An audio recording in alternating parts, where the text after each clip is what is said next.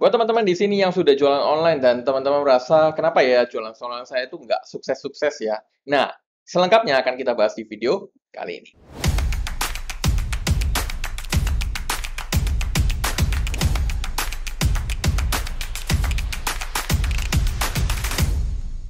Hai, kembali lagi bersama saya Show Andreas dari Social Media Marketer.id, tempat untuk memudahkan kamu belajar seputar pemasaran di media sosial. Jadi sebelum kita masuk ke videonya, teman-teman, disclaimer dulu. Definisi sukses tiap orang itu kan beda-beda ya. Ada yang berpikir bahwa oh sukses itu harus omsetnya MM-an mas. Ada yang juga oh ya saya puluhan juta aja udah sukses. Jadi itu yang harus kita cari tahu dulu ya. Tapi kalau misalkan hanya sekadar ya menghasilkan omset uh, puluhan juta, ratusan juta. Dan di video kali ini, semoga bisa membantu kamu ya. Karena sebenarnya intinya itu hanya seperti ini, teman-teman. Tinggal kamu kembangkan aja. Oke? Okay? Jadi di video kali ini kita akan bahas tiga cara ya eh, untuk bisa sukses jualan online. Tanpa basa-basi lagi, langsung masuk aja ke layar laptop saya. Oke, jadi tiga cara sukses jualan online ya, khususnya di sosial media ya. Jadi platform jualan online kan banyak ya, ada marketplace, website sendiri, sosial media, apa pun itu kamu harus tahu ya. Tapi di video kali ini kita akan bahas di sosial media. Ya.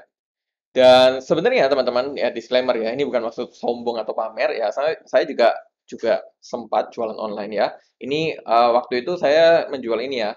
Uh, bantuin brand, sebuah brand produk kitchenware.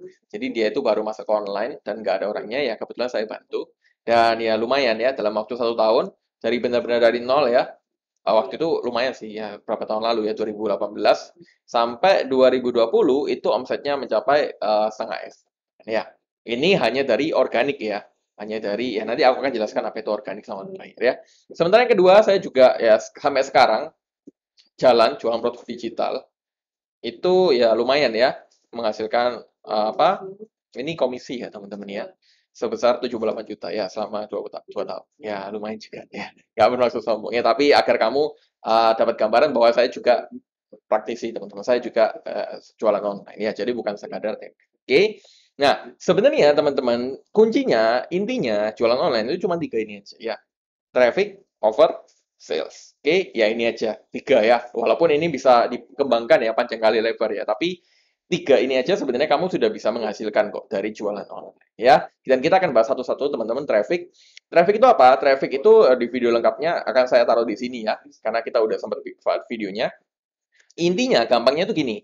Kalau misalkan teman-teman buka toko ya, offline lah ya, itu kan teman-teman harus mengatur strategi kan, gimana caranya toko ini bisa uh, didatangi orang banyak. Terus gimana toko ini lokasinya harus di mana, harus strategis dan lain sebagainya online juga sama teman-teman.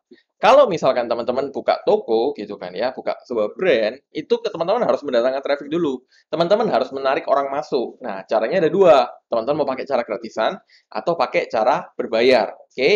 Nah, kalau gratisan teman-teman itu ada ada beberapa hal yang bisa kamu, kamu lakukan ya untuk mendapatkan traffic. Seperti buat konten. Jadi kalau teman-teman uh, dengar orang-orang yang posting-posting tuh, nah itu ngapain sih? Sebenarnya mereka mencari traffic. Oke, jadi saat mereka posting, konten mereka dilihat orang lain, mereka mendapatkan traffic, ya mendapatkan jangkauan. Dan gratisan tuh banyak ya, buat toko di marketplace juga bisa, ataupun OLX ya. Jadi kalau kamu masih akan pakai OLX, ya ada beberapa produk yang OLX masih laku ya. Dulu saya pakai kitchenware itu pakai OLX juga masih ada, masih dapat traffic teman-teman. Itu juga bisa. Oke. Yang kedua itu berbayar. Oke. Jadi ini oh ini ada typo ya belum saya ganti. Ini contoh traffic berbayar ya. Berbayar itu ada yang kayak iklan, iklan di sosial media ya. Facebook Ads, IG Ads, TikTok Ads, Google Ads, YouTube Ads, LinkedIn Ads dan lain-lain. Oke. Ada juga iklan di marketplace dan masih banyak lagi. Intinya adalah kalau misalkan traffic gratisan, itu kamu melakukan hal yang nggak perlu keluar uang tapi bisa menimbulkan traffic. Seperti buat konten. Kalau berbayar itu kamu harus bayar. Oke, bedanya di sana ya. Dan kalau misalkan teman-teman tanya lebih bagus yang mana mas, itu plus minus. Plusnya kalau gratisan tentu kita nggak mengeluarkan uang kan. Tapi minusnya adalah lama, harus optimasinya, nggak bisa langsung. Sementara kalau berbayar, ya minusnya kita mengeluarkan uang, tapi plusnya hasilnya bisa dilihat secara langsung. Jadi bedanya di sana. Jadi kalau uh, saran saya ya jalan dua-duanya. Tapi kalau misalkan belum ada modal, ya pakai gratisan dulu. Udah kekumpul tuh, omsetnya udah ada, udah ada margin, baru marginnya itu diputar jadi berbayar. Dan berbayar pun itu kita juga harus testing ya teman-teman ya. Jadi bukan berarti kalau teman-teman pakai iklan pasti laris enggak teman-teman. Banyak hal yang uh, apa Banyak faktor ya yang bisa menentukan itu. Dan faktornya kita akan bahas ya. Kedua, offer, teman-teman. Offer, offer itu penawaran ya, dan offer itu berbeda sama produk, teman-teman. Jadi kalau misalkan teman-teman di sini hanya jualan produk, teman-teman harus mulai berpikir ulang. Kenapa? Karena yang jualan produk itu kan banyak kan. Kalau misalkan kamu jualan hijab, nah yang jualan hijab itu kan banyak kan, gak hanya kamu aja. Jadi gimana caranya kamu bisa menjadi pembeda sehingga customer itu harus beli di kamu, bukan beli di orang lain. Itu yang kamu harus tahu, oke? Jadi itulah kenapa pentingnya membuat sebuah offer atau penawaran. Contohnya teman-teman agar kamu lebih kebayang, teman-teman bandingkan dua ini ya, dua penawaran ini ya. Yang pertama hanya menjual suplemen diet aja. Suplemen diet harga 500 ribu, minat WA di nomor ini. Oke. Yang kedua, ya ini kita ngomongin copywriting juga ya. Penawaran spesial buat yang mau diet. Jadi cukup investasi 500 k saja Anda bisa mendapatkan produk diet, meteran perut, e-book eksklusif, dan gratis konsultasi. Jadi teman-teman lihat, sama-sama harganya, teman-teman. Tapi satu itu hanya jualan produk, satu jualan sebuah penawaran, teman-teman. Lebih menarik yang mana? Silakan nanti dijawab di kolom komen ya. Kalau misalkan kamu bilang lebih menarik yang kedua, ya jelas. Kenapa? Karena harga yang sama, tapi value yang didapatkan itu berbeda, teman-teman. Jadi itu kenapa pentingnya teman-teman untuk membuat sebuah penawaran. Nah, kunci untuk membuat sebuah penawaran ini adalah mengetahui apa yang customer kamu butuhkan dan kamu sediakan. Jadi gampangnya itu ya rumusnya ya. Membuat sebuah penawaran yang menarik itu, penawaran yang susah ditolak itu adalah menyediakan apa yang customer kamu butuhkan. Oke, okay? jadi kalau misalkan nih, contohnya uh, suplemen diet, karena kan ya apa yang mereka butuhkan, ya meteran perut, e-book, e-book dan video eksklusif panduan diet, terus konsultasi. Jadi itu yang bisa kamu tambahkan. Jadi kalau contoh lain, misalkan hijab apa, ya saya juga nggak tahu, misalkan free apa, uh, bando lah, atau jepit lah, atau apa, itu yang bisa mereka butuhkan. Jadi kamu harus tahu dulu apa yang mereka butuhkan. Dan hindarilah membuat offer yang enggak sesuai teman-teman ya. Misalkan nih uh, tadi suplemen diet gitu kan. Terus apa misalkan uh, bandelnya ya yang dipaketin sama apa? Misalkan kelas copywriting ya gak nyambung gitu kan ya. Jadi kamu harus tahu juga apa yang mereka butuhkan. Oke. Okay? Next yang ketiga adalah sales teman-teman. Jadi bagaimana kamu itu mengubah calon pembeli. Tadi kan kamu udah punya ini, udah traffic nih, udah punya offer yang menarik kan. Terus banyak toh calon prospek yang masuk, yang tanya-tanya, eh ini apa sih produknya? Saya juga pengen tahu, penasaran. Nah, gimana caranya kamu mengubah mereka menjadi pembeli? Itu butuh yang namanya sales. Oke? Okay? Sales yang dimaksud di sini adalah uh, prosesnya ya. Jadi bagaimana kamu mengubah calon prospek menjadi pembeli, bahkan menjadi pelanggan. Oke? Okay? Nah, di sini kamu harus belajar uh, skill closing, teman-teman, dan bagaimana caranya menjawab calon pembeli yang lebih persuasif, ya. Contohnya, kalau teman-teman bandingkan ya, misalkan nih ya, Uh, kalau misalkan dia tanya, halo kak, barangnya ready, ya jangan dijawab ready aja teman-teman. Mungkin kamu bisa jawab yang lebih uh, membuat mereka itu nyaman. Contohnya kayak gini, iya barangnya ready dengan kak siapa ini saya show gitu kan. Jadi ya gampangnya ya bahasa saya itu memanusiakan manusia itu sendiri.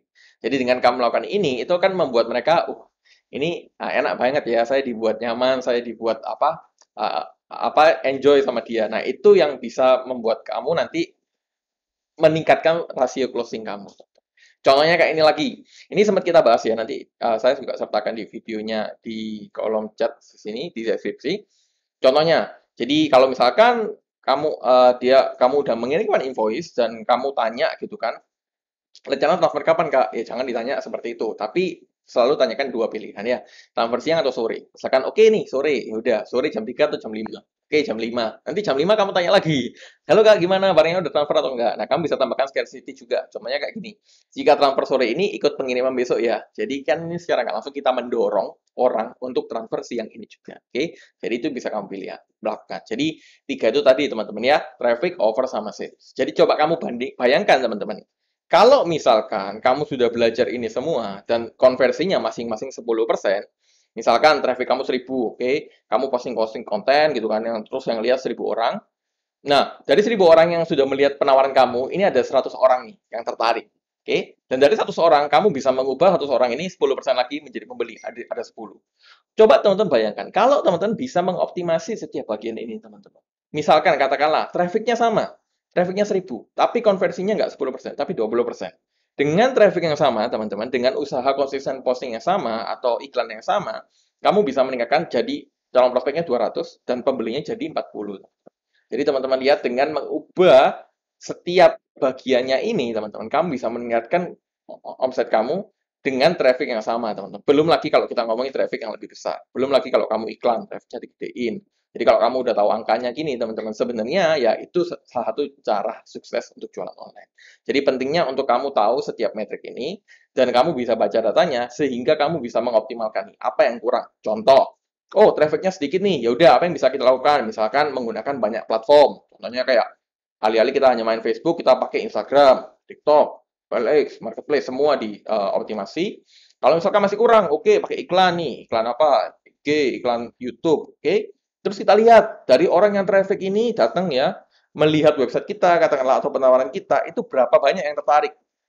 Oh, misalkan yang tertarik hanya 10% tadi, satu orang. Ya udah, kita bisa ubah. Apanya yang diubah? Copywriting-nya, copywriting landing page-nya, penawaran kita, mungkin visualnya, bundle-nya kurang uh, banyak, scarcity-nya bisa ditambahkan. Ada banyak hal lain. Terus kalau misalkan oke okay nih, offernya udah bagus 20%, tapi salesnya kok 10%. Nah, ya itu yang bisa diganti adalah cara chat kita, uh, cara kita menjawab yang lebih persuasif, nggak ada follow up, mungkin itu yang harus ditambah. Ya, dan kurang lebih itu aja teman-teman. Semoga kamu kebayang secara keseluruhan gimana sih caranya sukses jualan online. Pastikan juga kamu subscribe channel ini dan aktifkan loncengnya agar kamu nggak ketinggalan informasi-informasi lainnya seputar gimana caranya melakukan pemasaran di sosial media. Sampai jumpa di video-video berikutnya.